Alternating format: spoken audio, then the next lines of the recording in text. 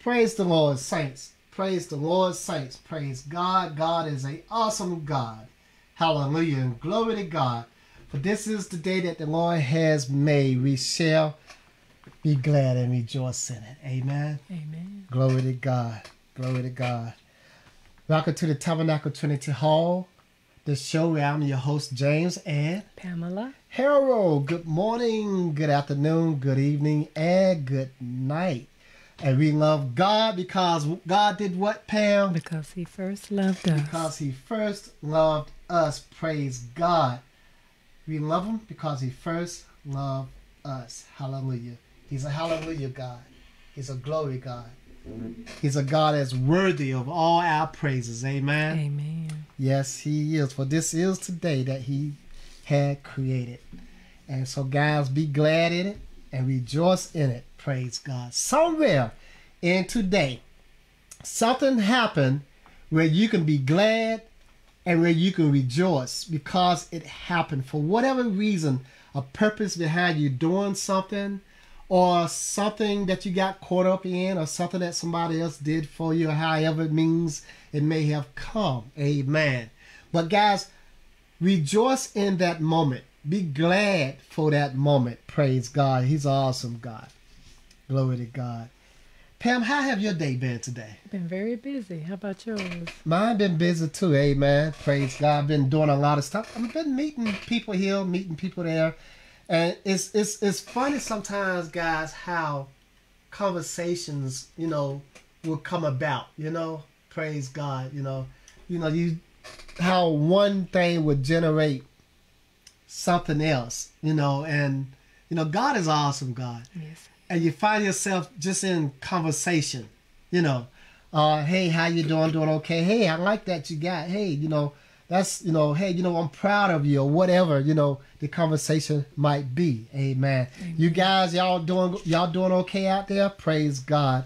God is awesome God. That's good because this is again the day, a day that the Lord has made. Praise God. If you in Christ, then you should be glad and you should rejoice in it. You should become aware of those moments. Amen. Amen. Because see, those moments come whether you are aware of them or not. They still come.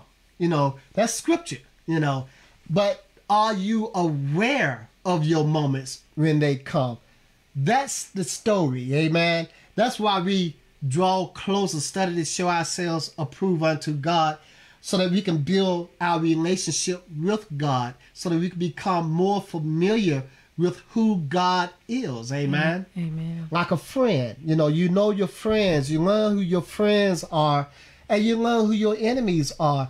And a lot of times, you learn the difference between the two when you're going through something. You know, not when you're not going through something. You know, when we think about the um, the um, the um, the son, um, the parable of the son, the son that um The prodigal son? the prodigal son. Thanks, Pam.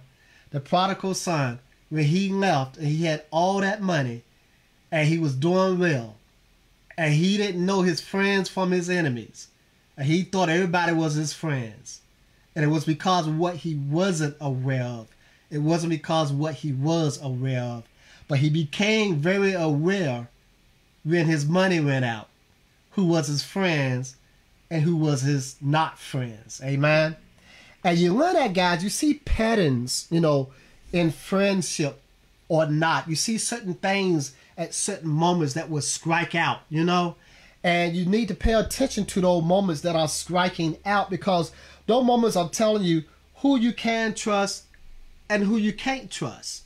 I think back on a lot of times when I was coming up, you know, from a child to a teenager to a young adult to who I am now. And I can look back on moments to as when certain people did certain things and how they would do certain things. And at the time, when you're not aware of it, you don't pay too much attention, you know, to it. But as you get older, you begin to, and as you experience life, and as you experience different patterns coming to pass in manifestation, then you begin to see who is your friends and who who are not your friends. But God calling us, the people of God, to also make friends even with worldly people. Amen. Amen. I just say that people come into your lives either for a reason, a season, or a purpose, or a lifetime. That's true. It's for one of those reasons, and you got to be aware. You got to begin to define category what that is. You know, you got to ask God, um, God, what is it that you want me to see because I'm going through something? Uh, or God, I feel that you're directing me towards a certain way. What is it that you want or need for me to see? Because we need to be reaching and we need to be yearning for what God is doing in our lives. God said that He would do nothing without letting us know what He's doing. That's right. Amen. Amen. And so, you know, God, He considered the church to be a friend, His children. Amen. We know that God's the creator of all things, but there's a special meaning. You know, people can have children and they not be friends. The parents and the children, they are not friends when they get to a certain age or when they're coming up because they don't, their parent can be abusive, you know, to them or whatnot, you know. So, you know, you can be a parent and still not be friend. Befriend your children. God, He befriends His children. That's why he gives us the word of God. That's why he gives us revelation. That's why he gave us God gave us his son. That's why his son sent back the Holy Spirit. Amen. Through God. Amen. That we can have relationship with God. Amen. Amen. And so he tells us also how to have relationship with each other, or with your Christian um, brother, with your Christian sister, with your worldly friend, with your worldly sister, with your worldly brother. He just teaches us how to befriend whoever come within our grasp of relationship, Pam. You know, that's just how great he is, amen. He's an awesome God. He's an awesome God. When he, you know, he tells us to be kind to those who are not kind to us, uh, as though we are heaping coals on their head. In other words, he's saying, if your enemy thirsts, give them water. If they hungry, give them something to eat. If they are without clothing, need a coat, give them a coat. And he said, now, when he said, as though you're heaping um, coals on their head, coals is usually hot. It's like fire. But what he's talking about is you're not doing it for vengefulness. You're doing it because you want to cause that person to become mindful of the question, why are you being good to me when I'm treating you the way that I'm treating you? And that could be an opportunity for the Holy Spirit to work. Because I remember hearing a story way back when this atheist um, was dying, and a preacher throughout his life would come and witness to him and talk with him, and he treated him pretty bad. He's and he was telling the testimony, of course, how he spit on him, cussed him out, did everything. But that pastor did exactly what Romans 12 did, said, and he kept doing what was right. Amen. And on his deathbed, he um, called on the Lord and got saved. And that's something? And he was telling the story on TV. See, and that that's why we don't judge a person where they are. We should look at a person the same way we looked at ourselves. You know that you know God is able. You know uh, what we was yesterday. God sees for what we are in the future. You know we see ourselves for what we are. People, each other, where they are right then, right there, and so we are quick to judge people. But you know we shouldn't be quick to judge people because we don't know what God is calling that person to that's in sin today. Yeah, we judge what they are doing, whether it's of God or whether it's not of God, but we are not judging the person whether they are going to hell or whether they are going to heaven. But we are to judge the things because we have the spirit of error and the spirit of truth. So we are to know what is of God and what is not of God. That's how we also set the offices, the offices in the churches by what we see that person doing and through prayer and through discernment and through the leading of the Holy Spirit. Amen. Amen. You know, we don't just want to have anybody to be in a leader leading pos, leadership position in the church, teaching Sunday school, teaching Bible study, preaching. You know, they have to have study to show themselves approved. They have to. You have to see them to be approved, to be put in certain positions of the church. But we don't judge whether or not a person because they are living a sinful life, whether or not they're going to heaven or hell. Because today, even though they're living in sin, tomorrow they can be called to um, uh, uh, um, salvation. Amen. They can receive salvation tomorrow, even though they don't have it today. Now, none of us are perfect. So we're not talking about, you know, hey, nobody is perfect. No, we're not talking about that. We're talking about those who strive to live for God and those that do not strive to live for God.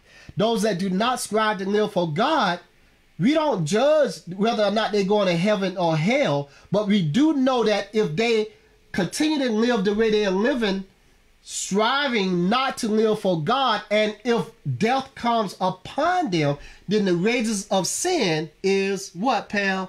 Death. Amen. And if they change and find some salvation, you know, along the way, then we know that the gift of God is what, Pam? Eternal life. Eternal life. Amen. So we judges the things that they do. Pam, you can read for us. You mentioned Romans chapter 12, uh, verses 12, uh, chapter 12, verses 1, 2, and 3.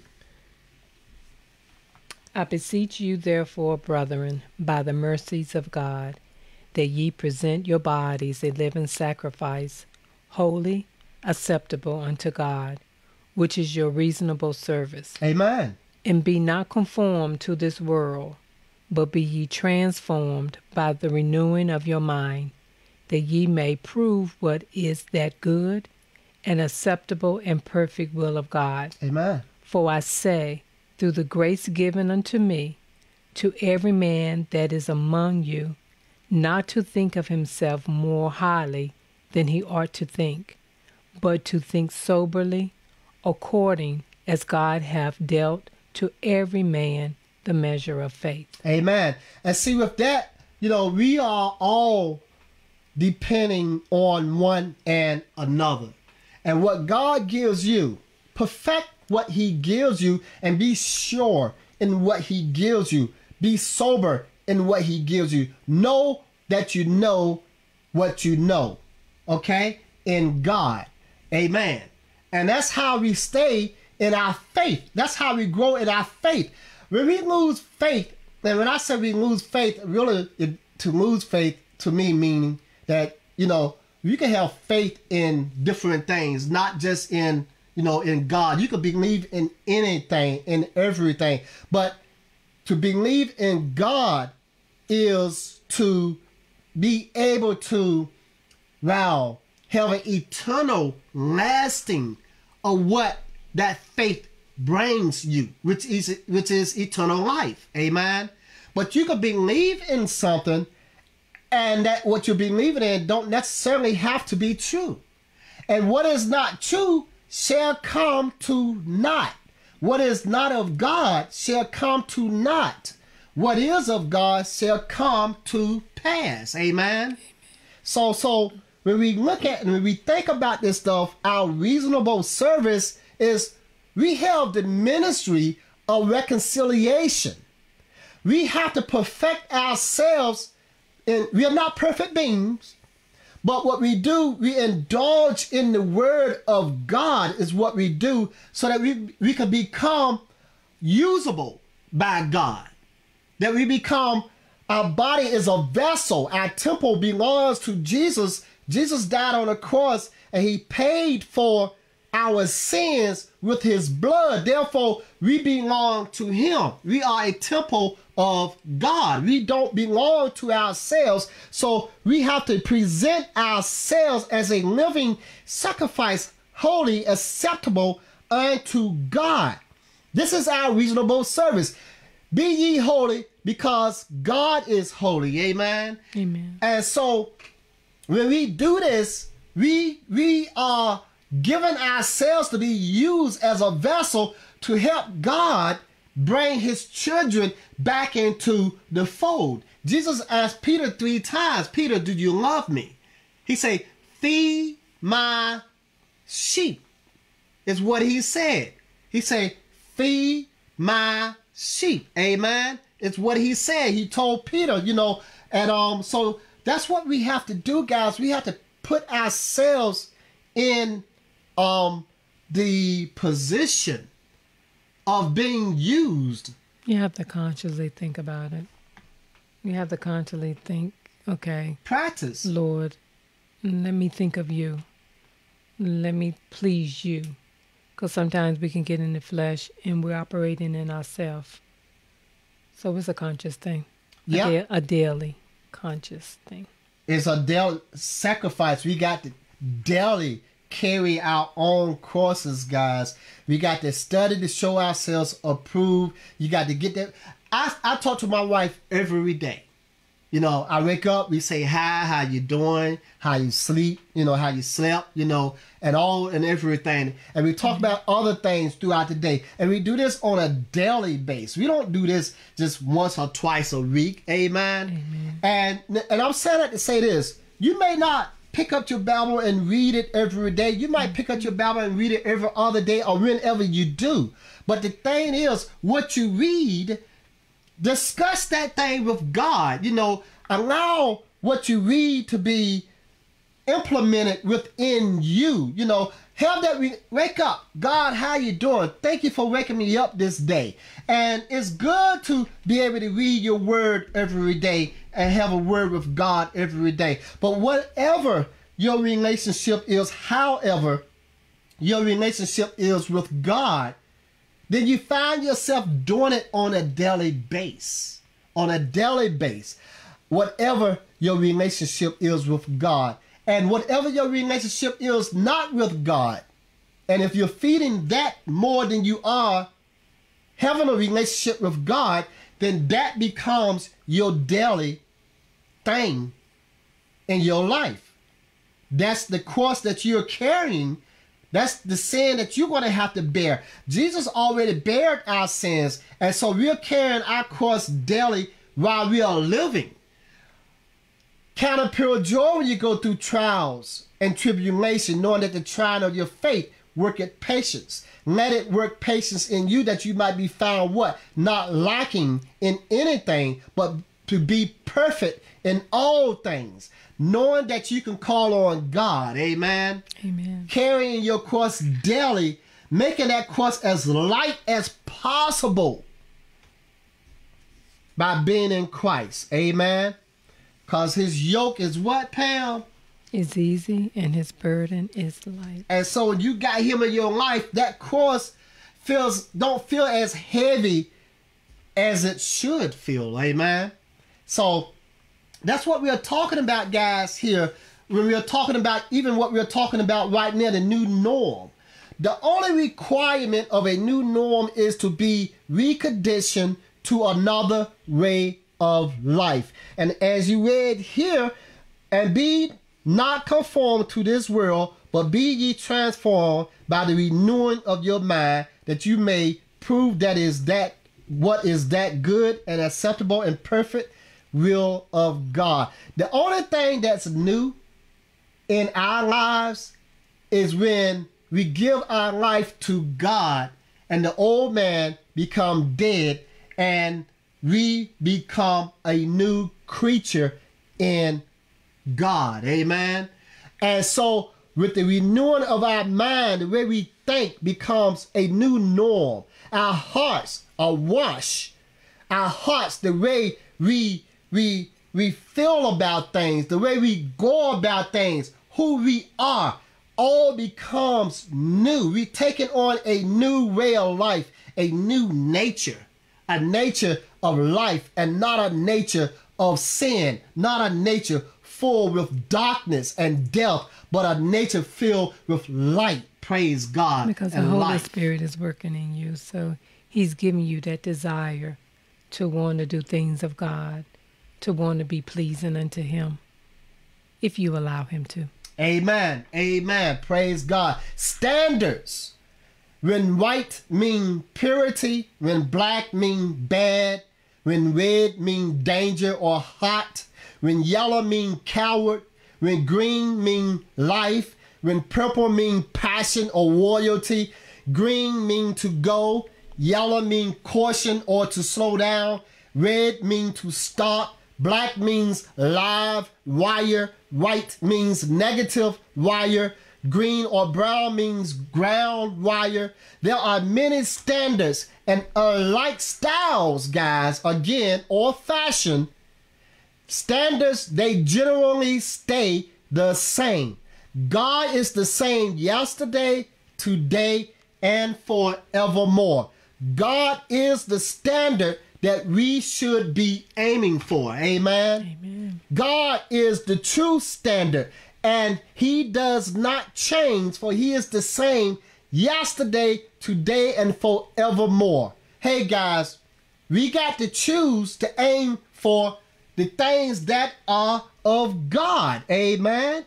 And we got to do it by according to how we are given. The more space we give to the Holy Spirit, the more room in us the Holy Spirit will make for Jesus. Amen. Amen. Praise God.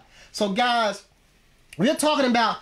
I want to talk use the word socialism, and let me explain that because I've been saying socialism. I am talking about mass media. I'm talking about also to influence the meanings we give to things. And we do that mass media, social media, conversation on the phone, how we come together, the majority, to influence how we conceptualize the world. I am talking about how we, as the majority of the general population, would agree to a cause or not. I am not talking about the difference between socialism and communism, as in political differences, but in differences to how we give approval to what is and to what is not, is what I'm talking about. Amen. Amen. God is awesome God. So, hey, what is of God and what is of the world? That's what I mean. But in differences to how we give approval to what is and to what is not. Praise God. Pam, if you could read for us Joshua 24 15. And if it seem evil unto you to serve the Lord, choose you this day whom ye will serve, whether the gods which your fathers served that were on the other side of the flood, or the gods of the Amorites, in whose land ye dwell. But as for me and my house, we will serve the Lord. Amen. You got to put on your armor of God, guys. You got to make yourself, present yourself, your body as a living sacrifice, holy, acceptable unto God, which is your what? Your reasonable services. Amen. Amen. The ministry of reconciliation, guys. All of that stuff, it it, it totals up to our purpose being in Christ. Amen. Which is to help God bring our sisters and brothers back into the flock. Feed my flock. Feed my sheep. Feed my sheep. Amen. And this is what we have to do. This is what we are called to do. And we also have to be able to feed ourselves on spiritual goodness. Amen. Amen. Which is God. God the Father, God the Son, and God the Holy Spirit. Why do people make choices other than to serve the Lord? Because they do not have the spirit of truth and the spirit of error. They have the spirit of error, but what I'm talking about is understanding what error is. Not being in error and calling it to be right is what I'm talking about. I'm talking about when having the spirit of truth and the spirit of error. I'm talking about what understanding what is of God and what is not of God. And you heard Pam mention something about having the Holy Spirit that dwells and dwells within us. Amen. Amen. That teaches us the things that are of God and the things that are of man. Amen. Amen. He gives us the knowledge of the spirit of truth and the knowledge of the spirit of error. Amen. Pam, if you could read for us again Ephesians chapter 2, verse 2, please. Wherein in time past ye walked according to the course of this world, according to the prince of the power of the air, the spirit that now worketh in the children of disobedience. And we ask the question why do people make choices other than to serve the Lord? It's because the press of the power of the air, the spirit that now worketh in the children of disobedience. And who is that? That's Lucifer. That's Satan. That's the devil. Amen. And that's why people choose uh, not to serve the Lord because they um well, you know, people say it's hard for me to give up something that I'm so used to having. I get that. But when you study to show yourself approved, then what you're learning, you're learning how to feed your spirit. And as your spirit gets stronger, then you're more apt to change your way of life with the Holy Spirit working within you. Amen. Amen. He'll give you the desire. Amen. But it's your choice to want to do it. He's not going to force you to do it. Amen. He just presents it before you. And then hopefully you'll make the choice to say, yes, I want to I want to read, I want to study, I want to and once again, you know, this life that we live is a process.